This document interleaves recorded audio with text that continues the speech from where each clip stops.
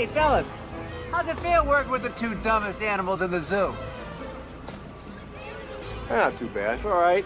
I'm talking to the camels. We're dumb and they're talking to the camel. Excellent. Uh-huh. Oh, man.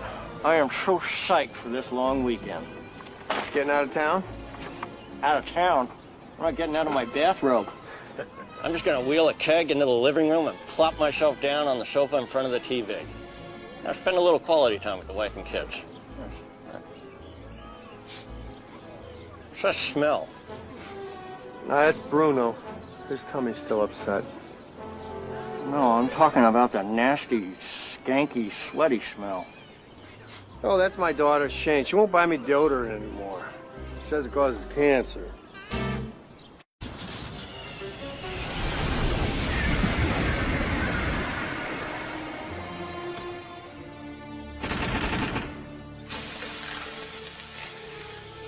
Did the foot fungus pay up yet?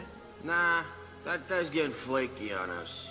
Well, you ain't gonna collect nothing from him up here in the pit. Now get down there. Send him a message.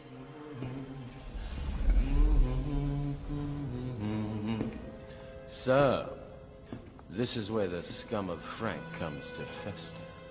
Hey, you lost, pal. This is a private sweat gland. Now beat it! I'm looking for volunteers, yo. Some nasty germs who want in on a big score. Yo, Red, we run the rackets around here. Take your little hustle someplace else. Oh, baby, this ain't about no hustle. This is about the baddest illness any of y'all have ever seen. Look who thinks he's the Ebola virus. Ebola? Let me tell you something Hey. about Ebola, baby. Ebola is a case of dandruff compared to me. All right, pal. You're out of here. Rosa, take this punk up to the face and bury him in a blackhead. When we're done with you, it'll take a Swedish facialist and six steaming washcloths to get you out. Hmm, sounds like a gas, baby. Bring it on.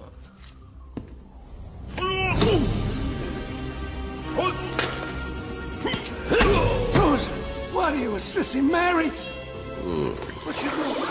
Get found. What's he doing?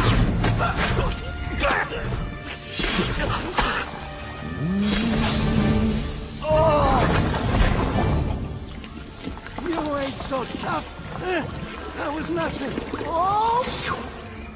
So, uh, what kind of sickness do you have in mind? Boss? Deadly.